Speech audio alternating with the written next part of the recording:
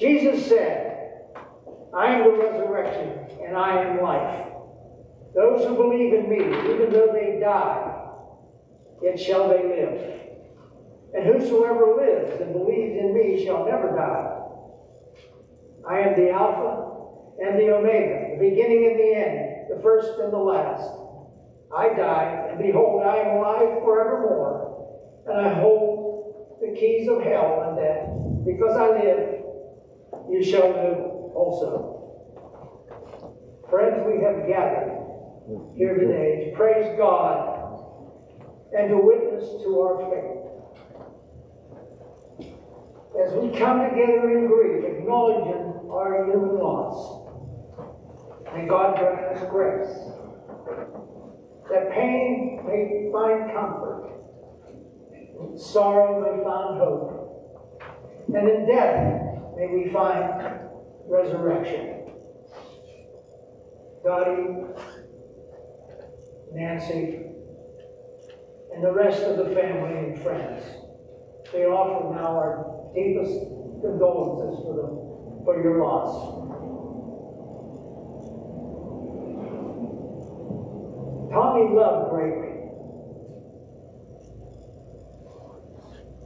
And he was loved greatly by all of us. So, your deep feelings will soon come. And you must know that we're with you through prayer, through understanding. We will be with you as best we can. So you're not alone. You do understand you're not alone. You'll never be alone. The family at this time would like to thank all those that have provided cards and flowers and food and calls. And as they put it, been a blessing and greatly appreciated. So at this time, we will pray. Almighty God, you are always more ready to hear than we are to pray. You are always ready to give us more than we deserve.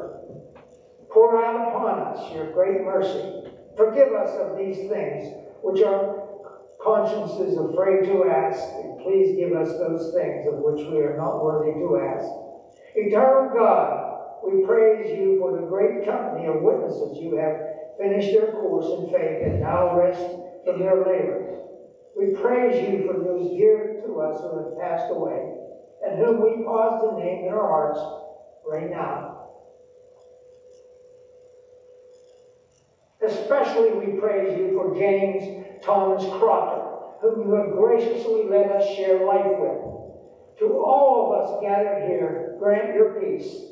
Let your light shine upon us so that your presence may lead us through our years on this earth and bring us at last with those who have gone before into the joy of our, your home, not made with human hands, but eternal in the heavens, through Jesus Christ our Lord. Amen. Now, some Old Testament scripture readings. Hear the word of God from the Old Testament. We read first from Isaiah, the 40th chapter, the 28th to the 31st verses. Do you not know? Have you not heard? The Lord is the everlasting God, the creator of the ends of the earth. He will not grow tired or weary, and his understanding no one can fathom. He gives strength to the weary and increases the power of the weak. Even youths grow tired and weary, and young men stumble and fall. But those who hope in the Lord will renew their strength. They will soar on wings like eagles. They will run and not grow weary.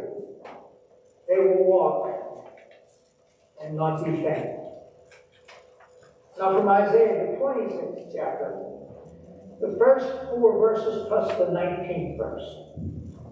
In that day, this song will be sung in the land of Judah. We have a strong city. God makes salvation its walls and ramparts. From the gates that the righteous nation may enter, the nation that keeps faith. You will keep in perfect peace those whose minds are steadfast, because they trust in you. Trust in the Lord forever, for the Lord, the Lord Himself, is the rock eternal. But your dead will live. Lord, their bodies will rise. Let those who dwell in the dust wake up and shout for joy. Your dew is like the dew of the morning. The earth will give birth to her dead. And from the 42nd Psalm, the first four verses. As the deer pants for streams of water, so my soul pants for you, my God. My soul thirsts for God, for the living God. When can I go and meet with God? My tears have been my food day and night, while people say to me all day long, Where is your God? These things I remember as I pour out my soul how I used to go to the house of God under the protection of the Mighty One with shouts of joy and praise among the festive throng.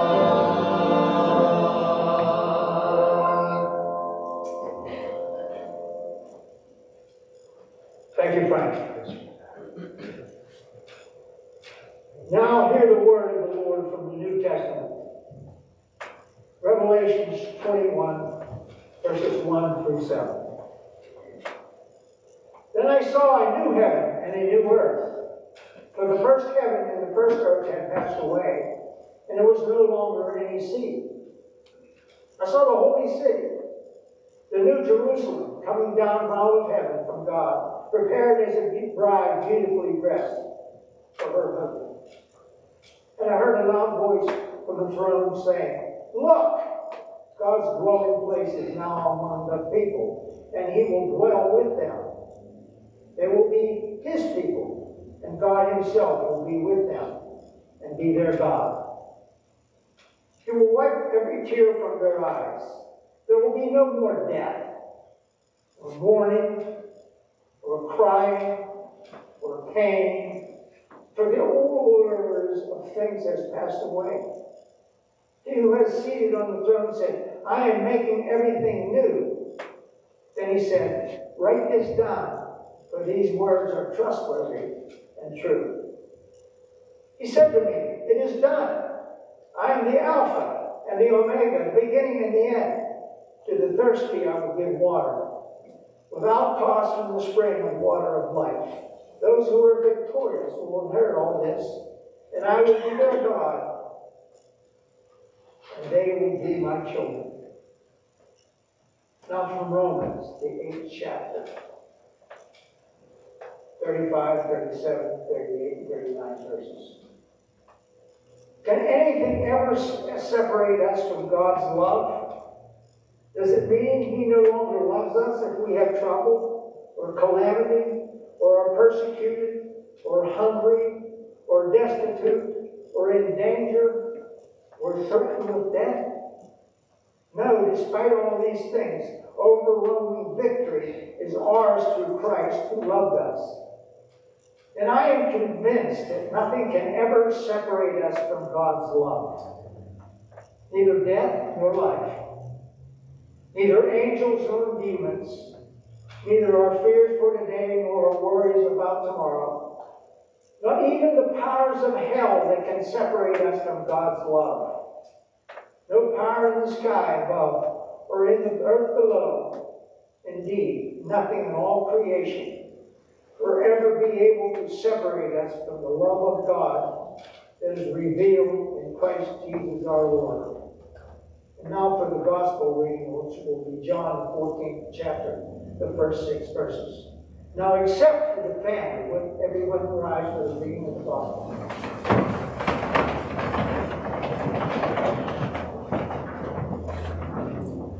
From New King James Version. Let not your heart be troubled. You believe in God, believe also in me. In my Father's house are many mansions. If it were not so, I would have told you.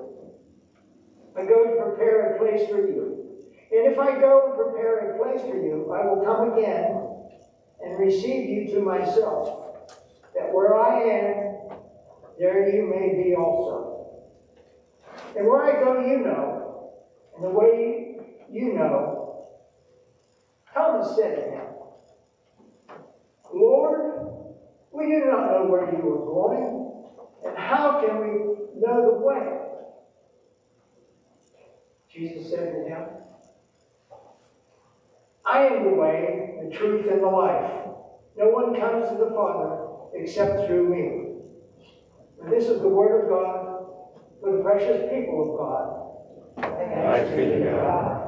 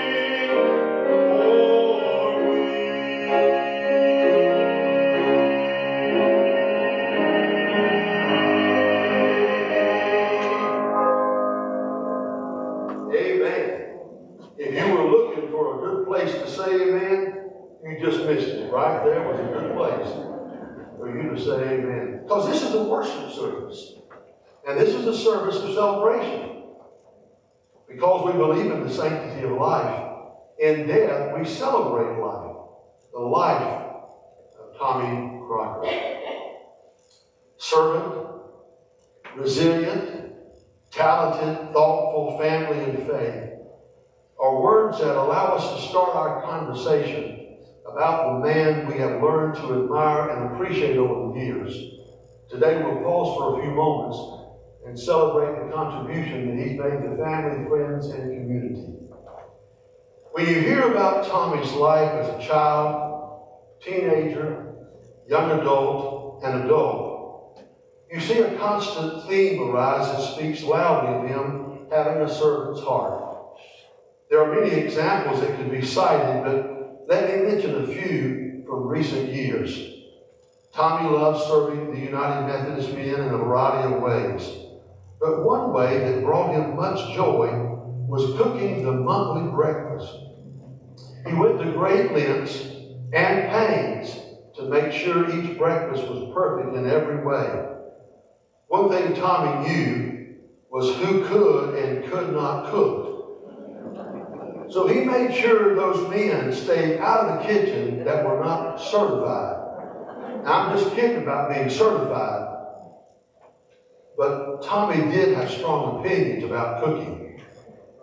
He would get there early and leave late to make sure everything was just right.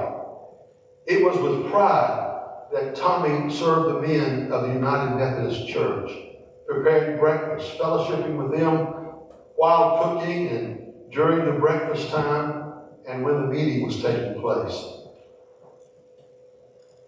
He loved serving those men. I just want to repeat it again. He loved serving those men. Some of you may not know, but Tommy was instrumental in putting together and supporting the first Relay for Life event and those thereafter. When Dottie was between jobs, the Relay for Life concept was introduced to North Carolina Cancer Society. The challenge was it was a 24 hour event that had not been done before having food, entertainment, and all these other components made it a great challenge. After many meetings, hours of planning, discussions, and travel, Relay for Life became a reality, and Vance County, through its citizens and businesses, gave in the hundreds of thousands of dollars, which exceeded all expectations. It was such a success that some of Vance County residents were elected to go to Washington, D.C. to relay on the ball. Tommy won recognition there for his participation, and it was well deserved, considering his hours of work to make it such a great event. Now, I could go on with other examples, but I think you get the message. Tommy was a servant in every sense of the word and our community recognizes this fact by naming Tommy and Dottie Crocker the 1997 Citizens of the Year. There's no question about it. He was a very resilient person. Being diagnosed with type 1 diabetes at age 9, the question for his mother was how would she be able to give him the shots? She didn't look forward to that and dreaded the thought of sticking her son with a needle. Well, the doctor came out of his office after telling Tommy about his diagnosis, and after explaining it all to him, he then announced to Miss Crocker that she didn't need to worry about shots. Tommy has that covered. They gave him instructions on how to administer the shot at his request, and that sure made things easier for his mother. Now that's a, that's a big deal for a nine-year-old. But Tommy's resilience came through loud and clear. He managed his diabetes throughout his life like a professional. He did the numbers, the math, and all the other calculations that allowed him to manage his diabetes perfectly. He also helped others manage theirs too. He was a resource for almost every topic pertaining to the condition. His strength and stamina came through with the job transitions that he went through. Working at Roses, then going to Americal for 28 years, and it's good to see some of the Americal family here today. You are a great family, and you have stuck together through thick and thin. And long after the closure of Americal, you're still a family, and you still stick together. God bless you for that. Uh, then they closed. And he transitioned into Rose Oil as a computer systems facilitator and even did some consulting work out of town for a period of time. The point is, even with businesses closing and downsizing, Tommy was able to go from one place to another without allowing that to affect his self esteem, his level of income, and lifestyle because of his durability. Then, for the last six years, he's been dealing with Parkinson's. The diagnosis alone could be enough for most people to just give up and give in. But not Tommy. He never complained. He never felt sorry for himself. He just accepted it and did the best he could to deal with it every day and maintain as normal of a life as possible. Tommy was not a big man, nor would he be considered a muscular person, but he was strong and he was tough. He was resolute. He was determined. He was stable, steady, and resilient. His life has proven this to be true, and this quality has made him the man we all learned to love, this resilient guy. Tommy was a very talented person, and I'm not just talking about in his professional life or his ability to cook various dishes with perfection. I'm talking about his acquired ability to fix things. Dottie never had to worry about calling a repairman. She was married to one. Anything that broke down at the house, she just called for Tommy. And I'm sure there were times he got tired of hearing his name. Uh, the lawnmower stopped running, and Tommy got out of his trusted tools. He started turning screws and gadgets and got the mower up and operating again. The hanging door that was dragging was sticky. Once again, Dottie called for Tommy, and the repair was made. Tommy has a well stocked and supplied workshop that he spent a lot of time in simply because he enjoyed repairing things and making items too. And probably, and get away from Dottie a little bit. I didn't say that. I, I retract that. No, you know it's true. Well, with his, well, with this condition being what it was, when the lawnmower stopped running, he felt like he knew what it might be, he told God in what area of the mower to go and to turn the screw in this direction and take this off and look at it, and then put it back on after cleaning it off and wiping it down. Well, Dottie went to where the mower was. She looked for the screw and what to take off and clean, but she never could find it, even though she was looking right at it. She discovered not only that she was not a repair person. She barely knew what a lawnmower was. and couldn't find anything Tommy told her to look for either. So now Dottie has the name and number of a lawnmower repairman.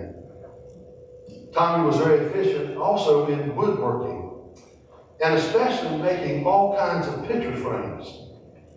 He has some beautiful picture frames at his house hanging on the wall and has made hundreds of frames and sold them.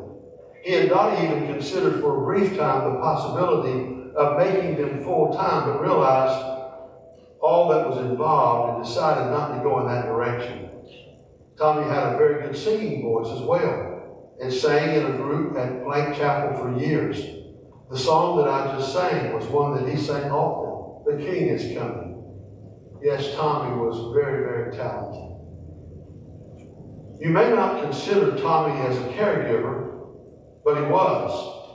And it started early in his life and was really seen at age nine years old when he decided to take care of himself as a diabetic. He didn't leave it up to his mother or family, he took care of himself. Later in life, Tommy took care of his father in his declining health. After his death, he took care of his mother along with his sister's assistance, giving them the best of care, which took time and sacrifice, but again, he never complained. Then he and Dottie took care of her parents until their deaths. Now, Tommy didn't forget the attention Dottie needed. She was working in a very demanding job, and the stress of that and taking care of her parents. Tommy, realizing all of that, gave her the care and attention that she needed to make it through difficult times. There are people here today that received a phone call or a personal word of encouragement from Tommy as he reached out to simply say, I care for you. His thoughtfulness came from his heart and his quiet spirit. And we'll all miss that. Tommy loved his family, and his family loved him. Dottie and Tommy got married May the 17th, 1970. So this May 17th, they would have been married 51 years. Dottie, I know as you are looking back, you wonder where in the world has time gone? It passes by so quickly. But you and Tommy have worked, sacrificed, and labored to build a wonderful life.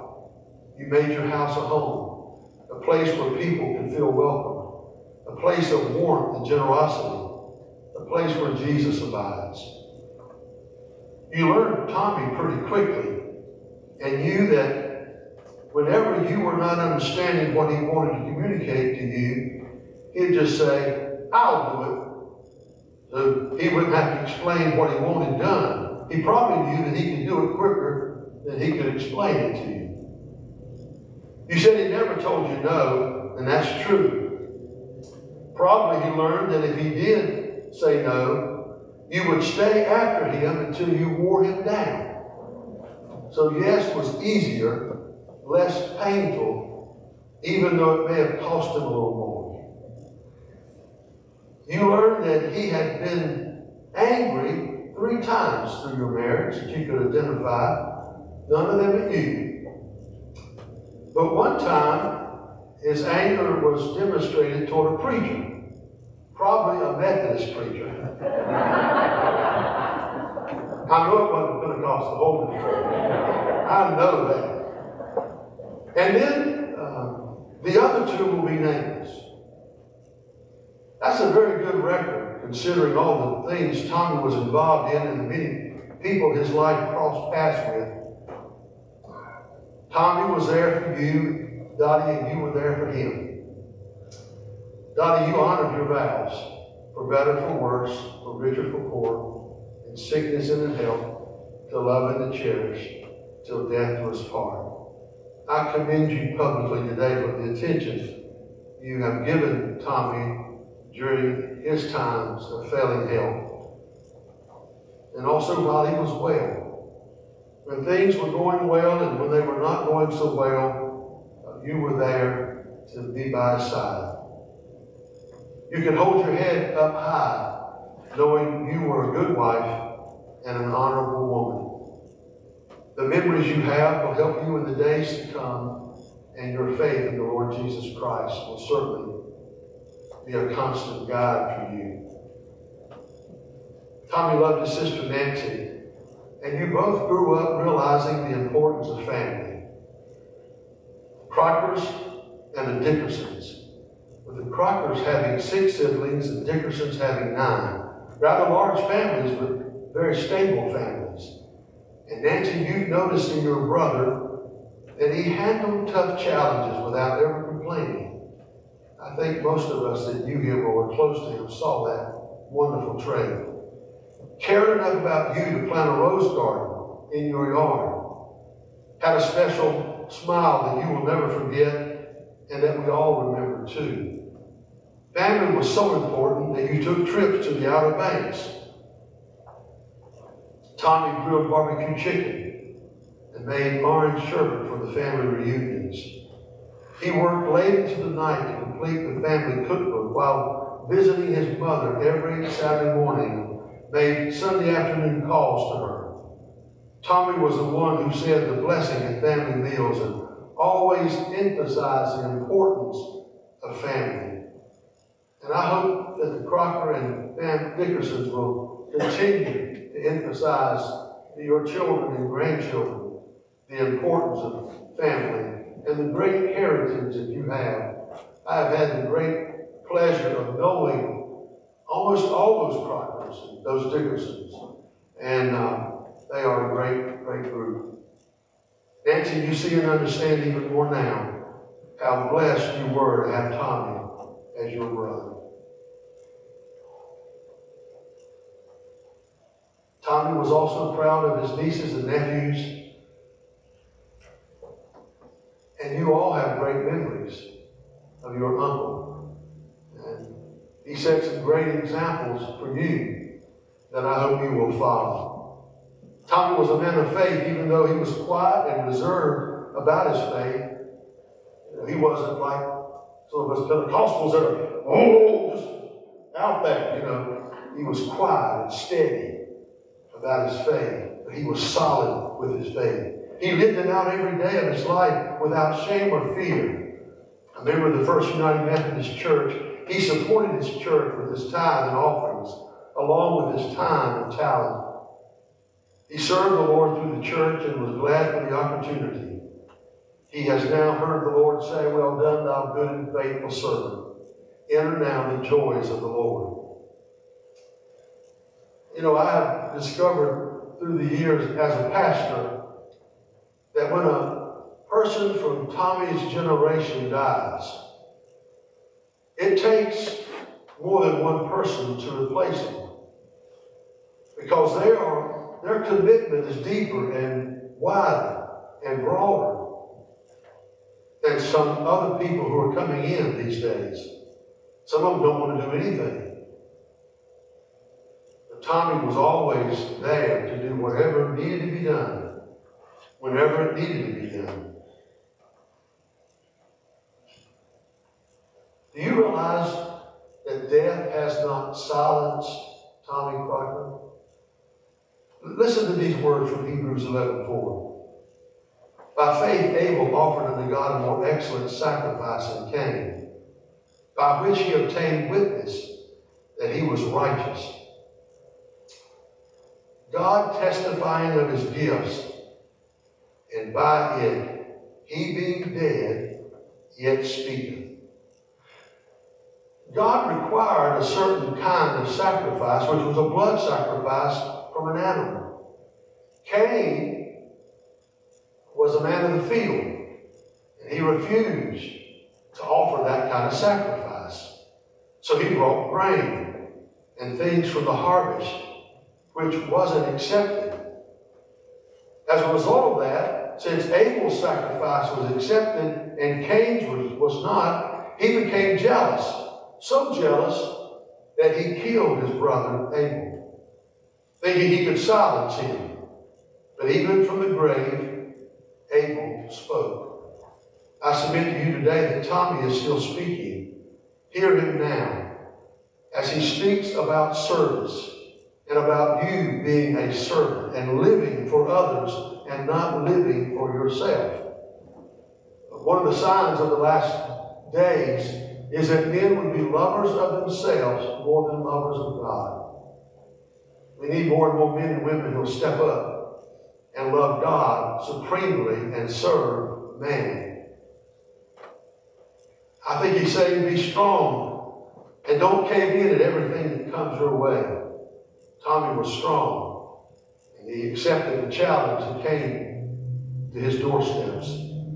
Yeah, I think he's saying use your God given talent for him and mankind. Whatever talent you got, use it for God in God's glory. Tommy is saying be kind and thoughtful. Tommy is saying honor your father and mother and love your family. Tommy is saying give your life to Jesus Christ. And I think Tommy is saying, be true to yourself. Tommy was true to himself. He didn't try to be anybody else Tommy Crocker. And he did an excellent job being Tommy Crocker. And we all dearly loved him. And I thank God for allowing me the opportunity to know him and to be able to interact with him over the years. And I'm sure that you are echoing that same sentiment today. I want to offer a prayer. I know Jack's going to come back and pray, but I want to offer a prayer. I want that prayer to be that we may hear Tommy speak to us. And as he speaks to us, that may bring conviction to us to cause us to live as we should. None of us expect to be, to be here today to memorialize Tommy's life. That's why the psalmist says, "And teach us to number our days, that we may apply our hearts to wisdom. Only one life, and so soon that life will pass. Only what's done for Christ will last. Would you pray with me? Heavenly Father, thank you for these words of celebration as we have honored the life of Tommy. Thank you for all the good that he's done while on this earth and how he has positively affected us and affected the church here, First United Methodist. How he's positively affected Henderson and Vance County. And how he has positively affected his family. Lord, minister to Dottie and Nancy and all the family today. Give them strength as they make this enormous transition. What you continue to do for each of us. We will thank you and praise you. In Jesus' great name we pray. Amen. Yes, sir. I would be remiss if I didn't mention this. And Frank did a wonderful job about the breakfast that we had, United Methodist Men's Breakfast. There was one thing he didn't mention. He did run the breakfast now, there was no doubt about that. But Tommy was also the treasurer of our group. He, he dealt with the money. He knew when we had too much and we should be spending some. He knew when we had too little and we could have a fundraiser. And he organized and worked so hard on stew sales, yard sales, and the like. And there's not a Methodist man in this building today or in our church that didn't know Tommy because of what he did for this church, for the men of the church. And we, we can only say that uh, was, he was the person that made us what we are. So we praise him for that. Thank you. And just let me pray at this time. This is the time when we're going to say goodbye to the body, the flesh of Tommy Crocker. He'll never leave us. He will never, ever leave us. Dorothy, I want you to know that. Nancy. Oh God, all that you have given us is yours. As first you gave Tommy to us, now we give Tommy back to you. Receive him into the arms of your mercy. Raise him up with all your people. Receive us also and raise us into a new life. Help us so to love and serve you in this world that we may enter into the, your joy in the world to come. Into your hands, O merciful Savior, we commend your servant, James Thomas Crocker. Acknowledge me humbly beseech you, a sheep of your own fold, a lamb of your own flock, a sinner of your own redeeming. Receive Brother Tommy into the arms of your mercy, into the blessed rest of everlasting peace, and into the glorious company of the saints of light. And now we would recite together the Lord's Prayer. Our Father, who art in heaven, hallowed be thy name. Thy kingdom come, thy will be done, on earth as it is in heaven. Give us this day our daily bread, and forgive us our trespasses, as we forgive those that trespass against us. And lead us not into temptation, but deliver us from evil. For thine is the kingdom, the power, and the glory forever. Amen. Now, except for the family, would we all stand as we are able for the benediction?